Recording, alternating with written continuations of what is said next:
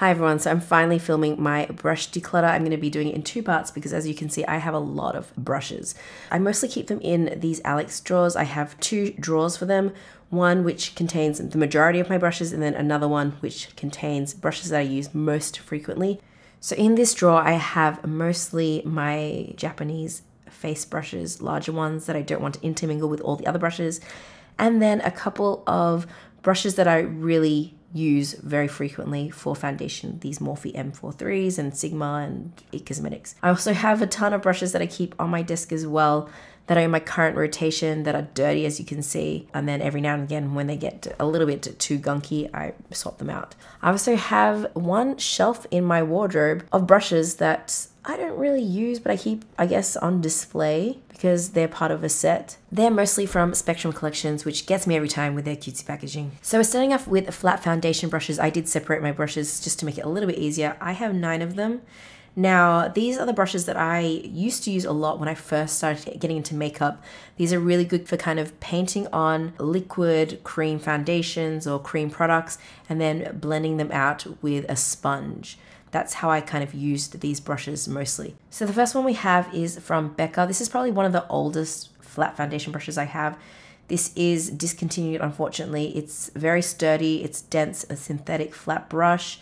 It's very good quality. Next we have this one from Sisley and this is another synthetic hair brush. I gravitate towards this brush when I want something with a little bit more flexibility and give in the bristles. Then we have this MAC one. It is a brush that they had before they went synthetic. It's made of horsehair and it's limited edition and made in China. Unfortunately, this one is pretty old now and the ferrule is coming apart. So I'm going to be decluttering this one. This crown brush is one of the cheapest and most basic flat foundation brushes I have. It's usable, so I'm going to keep it. Moving on to this Prescriptives brush. I have no idea how this ended up in my collection. It's possibly one that I stole from my mum. It's actually a really good sturdy brush, so I'm going to hold on to this one. Next we have this Hakuhodo brush. This is made of synthetic hair and it does have an angled edge, so you can get a little bit more of a precise application with it. And it is a little bit smaller, so it can kind of fit into smaller areas on the face. Next we have this e.l.f. brush. This is kind of like a really old brush, one of the first brushes I got when I first got into makeup. Surprisingly, it has held up really well over the years and it's totally usable, so I'm going to keep this one. This IT Cosmetics brush is a very unique brush to my collection. It's good for precise application of complexion makeup because it's dense and tapered and it's got that pointed head, so it does work really well to get around the curves of your face. So this Zoeva brush did come as part of the Queen's Guard set, otherwise I probably wouldn't have bought a brush with this shape, but it is again good for kind of painting on areas where you need it it because it's kind of got a really large surface area. So of the nine flat foundation brushes, I'm keeping eight and decluttering one, mostly because it's falling apart, which to me says that it is time to go. So I do have two different types of stippling brushes, these larger, more traditional ones, and then later I'll show you the smaller dual fiber ones that I use. I definitely have a preference for a smaller head, which is why I only have three of these larger ones. So this L&Y brush, this is an eBay brand and it's made of natural and synthetic fibers. It's a decent brush. It's not the best quality by all means, but I mean the price also reflects that. And because I don't use these brushes a whole ton, I'm going to pass this along to someone who will get more use out of it. So this Mizuho brush, this is basically the better quality version of the L&Y brush. It is a mix of synthetic and Ototsuho hair, which I had to Google. This is actually the shoulder of the goat, which is interesting that they specify it, and I noticed that a lot of Japanese brands do that. So this Pat McGrath brush, this came with one of the skin fetish sets. This is a really awful brush. It is very stiff, very scratchy on the skin, and it is really disappointing coming from a premium brand like Pat McGrath to release such terrible quality, to be honest, which is why I'm getting rid of this one as well as the L&Y brushes, and I'm just going to keep the Mizuho brush. So these dual fiber brushes are kind of like the more modern version of a stippling brush and this is definitely more my thing. I prefer this type of shape, angled and a little bit more dense. So this Wayne Goss 01 brush, I believe I got it in a lucky bag. This brush, it's dirty as you can see because I've been using it. I like this one, but I feel like this is best for kind of smaller areas and not obviously super liquidy types of formulas, otherwise, you will get streaking. I find it kind of better for like concealers or thicker foundations. So this one is a slightly larger duo fiber brush.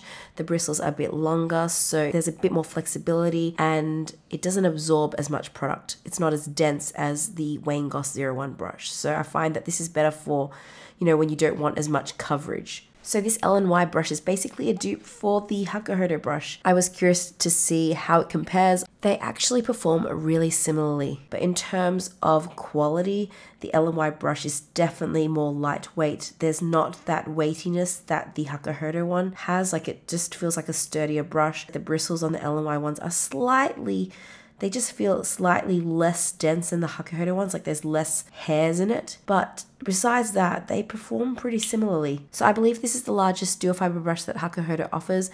I kind of wish they would make their brushes a little bit bigger because I kind of want a brush that covers more surface area just to make things quicker and um, yeah, just fast application. Fun fact about these Hakuhodo brushes when I was reading up on them, when they have an odd number at the end like this one, it means that the distance between the goat hairs and the synthetic fibers are shorter, which means that it produces a heavier application. Anyway, I do enjoy all these brushes and I will be keeping all of them. So these are what I categorize as cream foundation brushes because I use them for kind of thicker, creamier foundations or concealers, and I have three of them.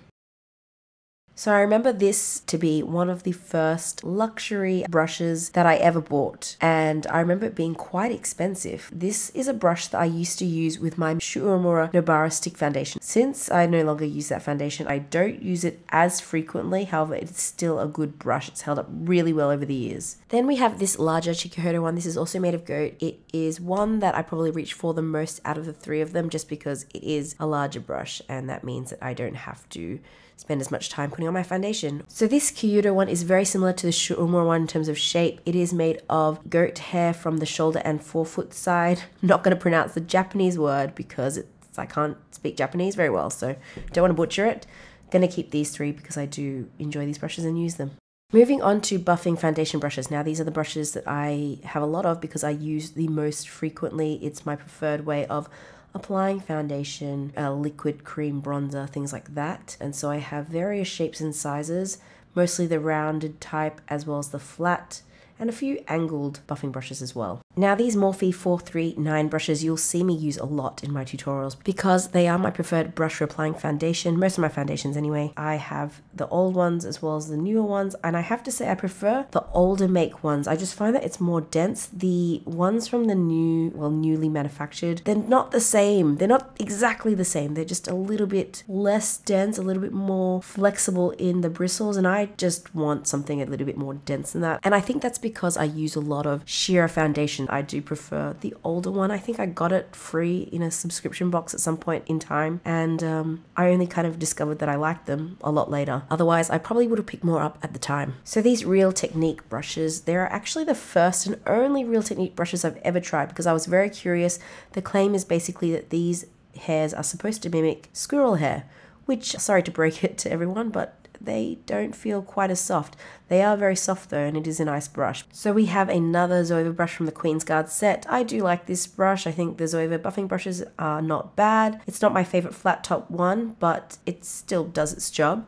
Same with the Sigma one. I think this is the only Sigma brush I have. I think the pink handle was a limited edition to raise money for breast cancer, if I'm not mistaken. It's okay nothing too impressive.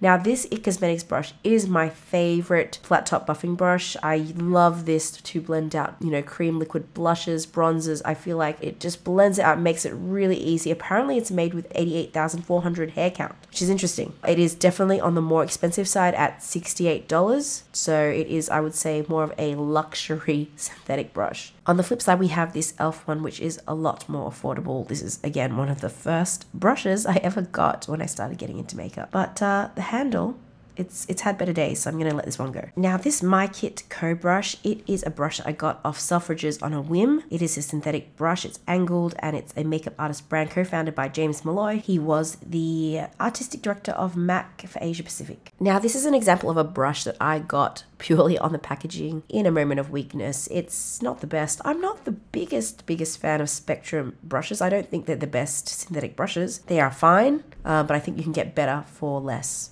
Here is another one, and this was part of the Mean Girls set. As you can see, it is dirty and it needs a wash soon. It is basically very similar to the Sigma one and the Zoeva one in terms of shape. I do think that the Sigma one and the Zoeva ones are better though. So I am keeping all of these ones and then throwing out this e.l.f. one because it's falling apart. But you know what? It's held up for a very long time, so it's pretty impressive for the price. So here is a category of brushes that I admit I don't use very frequently unless I'm falling behind on washing my brushes and I really need a powder brush because I tend to gravitate towards my Japanese powder brushes. These Tarte ones were kindly given to me by my mom. She bought them when she was overseas. I don't know what she was thinking, but I, I can't I can't seem to get rid of them. I can't seem to part with them because um because they were a gift from my mom. They're monstrous though. Another Spectrum brush, nothing special about it except for that it's from Mean Girls and I don't use it all too frequently. I don't know, I feel like there's not enough meat to this brush. I feel like I can't get a good kind of lay down of powder with it. Now this one, I prefer the shape just because it's a bit denser, more rounded, less splayed out and I feel like there's a good concentration of bristles on the tip of the brush so you can actually lay down a decent amount of powder. We have another e.l.f. brush which is about 10 years old. These brushes uh, are starting to fall apart because of the age and because of the quality, but I, I feel like, you know, 10 years is pretty good run. Time to go. Another Real Techniques powder blur brush, and this one is much larger. Look, I like the concept behind this, but I feel like they should have padded this collection out a bit more. This is another Zoeva brush from the Queen's Guard set. It's made of vegan Taklon hair. It's probably one of the better ones of this category. So I am keeping all of them except for the e.l.f. one, which is falling apart. Now these are my treasured Japanese powder brushes. I feel like I use these quite frequently. They all get some love. Some definitely more than others. They definitely are kind of like the biggest expense out of all my brushes just because I feel like I'm I am willing to pay more for a face brush that I use on such a large surface area. They are handmade, and yeah, obviously, there's a lot of hairs involved when it comes to making a face brush. I also do use a face brush daily, so for me, it's kind of worth the cost. Obviously, if you don't powder your face, then it's not going to be worth buying an expensive Japanese powder brush. So this Chikuhodo brush is from their Passion series. It is made of, I believe, dyed goat hair. And while it is soft, it's definitely on the coarser side in terms of goat hair. So I don't really reach for this one as much as some of my other more luxurious brushes, but it is a good brush. Then we have this Koyudo brush, and this was a gift from my mum when she went to Japan. And I believe this is part of the Loha series, which is a synthetic range. I believe it's plant derived PPD corn, and supposedly it's more natural than the usual chemically made synthetic hairs. Now, this Hakuhodo brush is one of the softest brushes I have, if not the softest brush in my collection. It is made of blue squirrel hair and it is one of my favorite face brushes for the reason that it is very soft and it feels great on my skin. This Hakuhodo brush was part of their Toyoko holiday set for 2018. It's partly made of goat hair as well as squirrel hair. I also really enjoy this particular length of brush as well. It's kind of like my optimal length for a brush. So this Shu Uemura brush did come in a travel set and again it's not my favorite shape. That kind of like onigiri rounded triangle shape. I just find that doesn't disperse powder the way I like it to. These kind of shapes are a little bit too floppy and just kind of flip flop on your face. Now this is the Ujiyo brush that I picked up when I was in Japan last and it is made out of squirrel hair. I love the handles on it. I think the brush looks really beautifully made. It is a longer, more tapered brush so I feel like it's really nice for patting on powder on the center of your face. So this Hakuhodo brush is part of their iconic S series range which is basically characterized by this beautiful vermilion handle. The ferrule is made of brass and it is 24 karat gold plated with clear coating. It's gorgeous honestly. I I want all the brushes from this range because they're just aesthetically very pleasing to me. This is a nice brush for putting powder on the cheeks. I like to use it for that area and it's made of goat hair. It's actually one of their more popular face brushes from this series. Now this is a Rephr brush that Rephr kindly sent to me and I have to say I really do enjoy this one. This is part of their core collection and I think it is a really good set. Now I don't usually buy sets but I think every brush in this set is actually functional. It's a really nice brush because it is small but it's also got a nice density to it. So these are two Kyoto Heart face brushes. They're really really just they're just cute. They're made of 80% baby goat chest hair and 20% PBT, which is polybutylene terephthalate, and that's basically synthetic hair. Now, I have used these brushes before, but because they've kind of got that dip in between, it doesn't disperse powder particularly evenly, so they are kind of more for show than for anything else. And of course, because I love these brushes so much, I am not going to get rid of any of them. I'm keeping all of them. For those wondering how I store some of these brushes, I did buy these really cute brush holders from Hakuhodo. They do sell them. They're great for displaying brushes. Moving on to some tapered powder brushes, and these brushes are great for kind of placing powder in, you know, smaller areas like the under eye area, around the nose, center of the face, or if you just want to be more precise with your powder application. And I mostly use these for cheek products or contour products. The first one we have is from Zoeva, and this is a Putty Face Definer brush.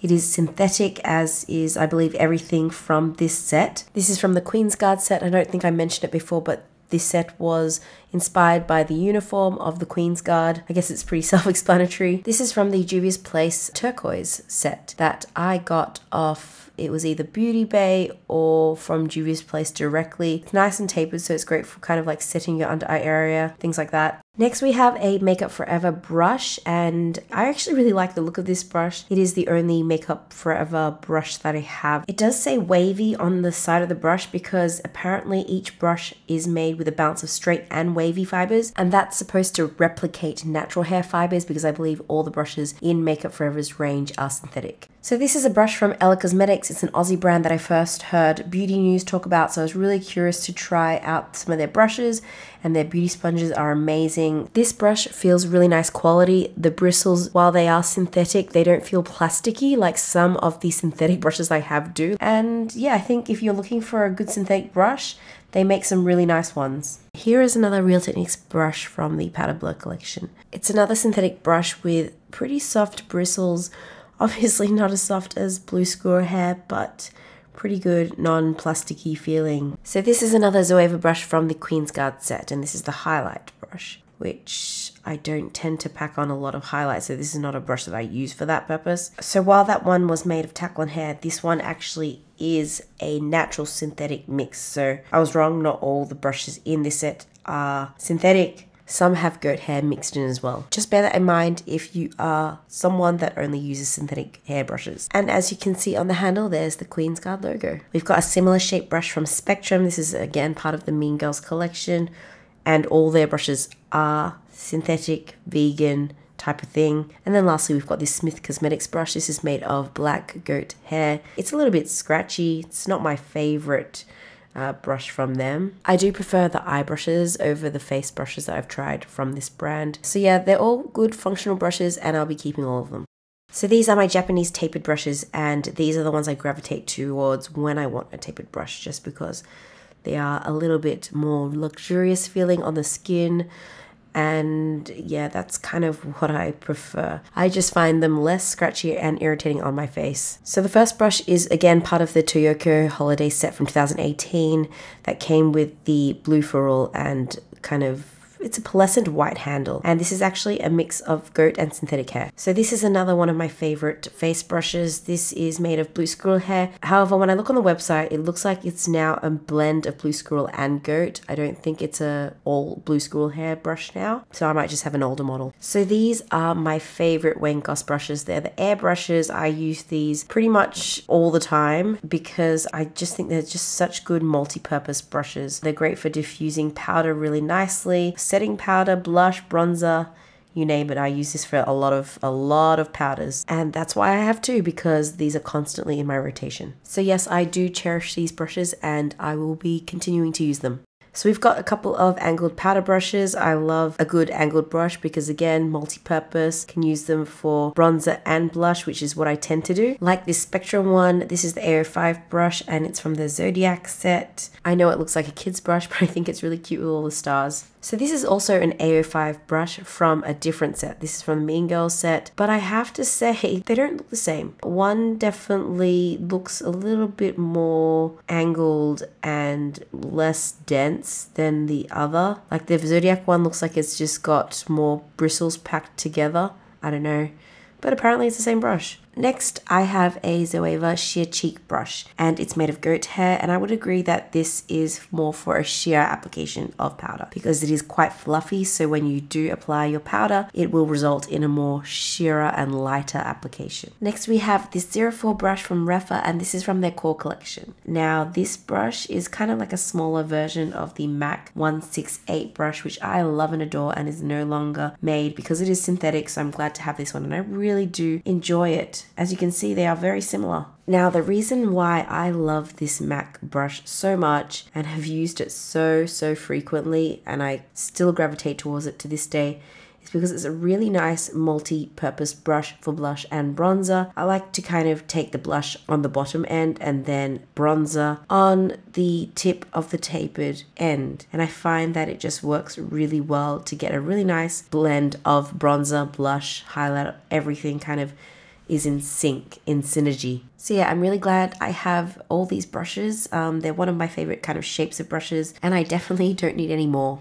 Now I have four fan brushes, two which are from Sonia G and two which are the more traditional fan brushes. Now I never used to use fan brushes and I never used to think that they made any difference until I tried the Sonia G ones and they changed my life I feel in a way.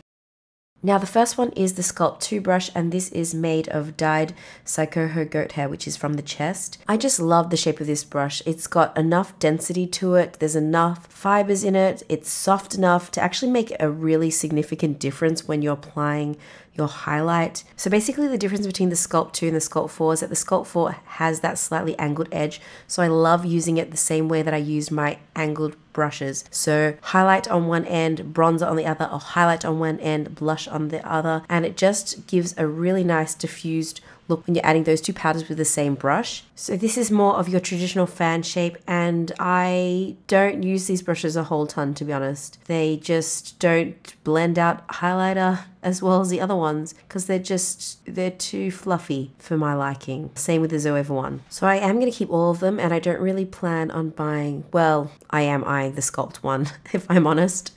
Concealer brushes. Now I have three. One, two, three. Can count. Well done, me.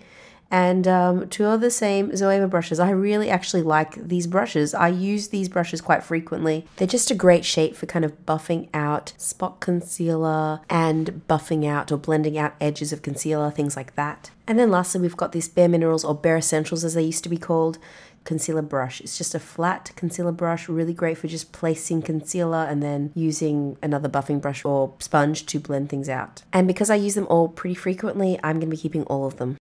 So last category are miscellaneous face brushes that I didn't know where to clump together because they all have kind of more unique or interesting shapes.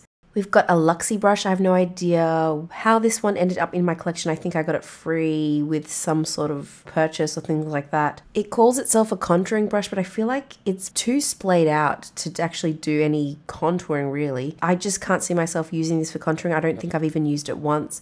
So I'm going to pass this one along. This is a Smith Cosmetics cream contour brush and I don't think I've ever used it for that purpose. I think because I forget that it's for that purpose, but when I look on the website, that's what it's for. Yeah, I need to start using this brush. Again, love the aesthetic of the Smith Cosmetics brushes. They just look really well made. This is a Chikuhodo contour brush. Now it is kind of a strange shape. Because it's so small and dense, I honestly don't use it very frequently. I think it's because it's a little bit too small for my liking for a contour brush. It is made out of grey squirrel hair, so it's super, super soft. Lastly, we've got this Spectrum brush. This is described as a magic wand for highlighting and setting, and um, I don't use it for either of those purposes. But again, it came in a set, and I like to keep my sets complete, so I'm going to be keeping all these ones and getting rid of the Luxie brush. So we're finally done, and I've decluttered six. I know it's not a whole ton, but for the most part, I am really happy with my face brush collection. These are brushes I would consider unusable because they're either falling apart, they're a bit scratchy on my face, or I have no purpose for them. So I think that's a good outcome for me. I hope you enjoyed it, and eye brushes will be coming soon. Thanks for watching.